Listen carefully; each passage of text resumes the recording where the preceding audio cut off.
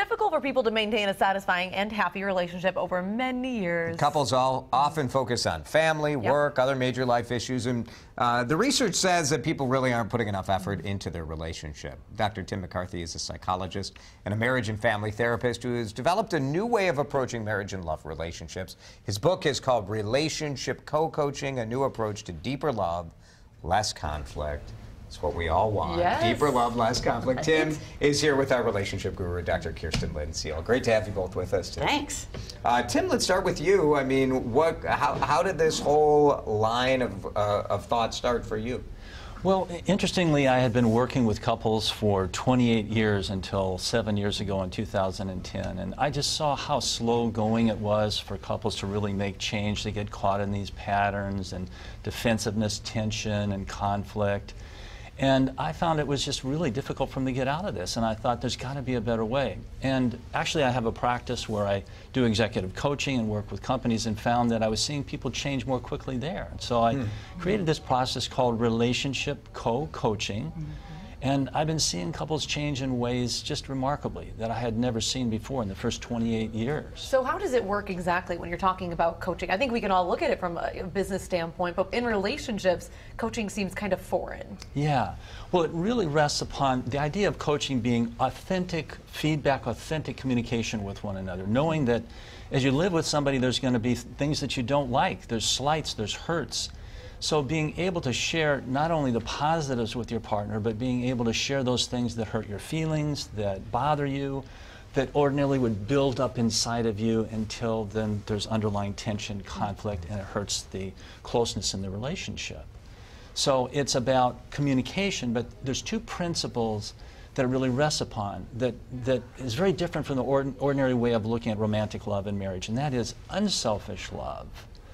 And then also learning to resolve conflict through being gentle and being softer in the way that you do it. And Kirsten, you see this in your practice often that when people are trying to resolve conflict, well, let's just say a soft approach is not normally what's coming into play, right? It's not what people do. Yeah. Uh, uh, and so one of the things that I really like about this approach is that it sort of encourages people to kind of come up and look, sort of look at their relationship from a little bit of a higher Mm-hmm. place to sort of say, like, oh, you know what, our relationship isn't going so well. We're falling back into that pattern of conflict. Like we always argue about this particular thing. Sort of saying to each other, wow, we let's do this better this time. We know a little more. Let's try this new way of being. Have you started to kind of incorporate this into some of your sessions? Yes, yes. In fact, I have. And so a lot of the stuff that he writes about is based on the same research that, that you know most couples therapists Sure. you know are are basing their practice on. Um, but it's just a little bit of a different lens. And so I mean, I've actually said to people like, you know, when you see yourself falling back into that pattern, can you kind of think of yourselves as a team? Like together we're going to try to get out of this argument instead of having it be so I'm right, no, you're right. You know, this sort of we are together, which totally goes is consistent with say Gottman's idea of turning towards each other, which is so important in relationships. But the idea, Tim, that people dig out of it together,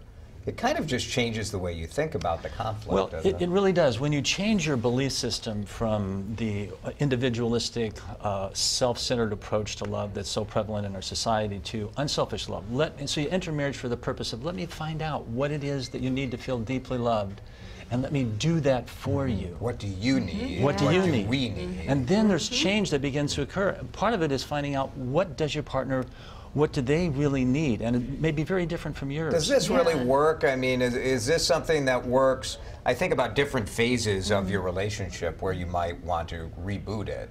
Uh, once you're pretty deep into conflict and trouble, is it possible to take that broader view? Or is this more preventative? You need to do this earlier? No, it's well, it's it's it's both, but it, in particular when you're having problems, because when you consciously step forward, when there's tension in the relationship and conflict, and you say, "Let me find out what it is that you need," and then you begin doing that, there is a phenomenal thing that happens.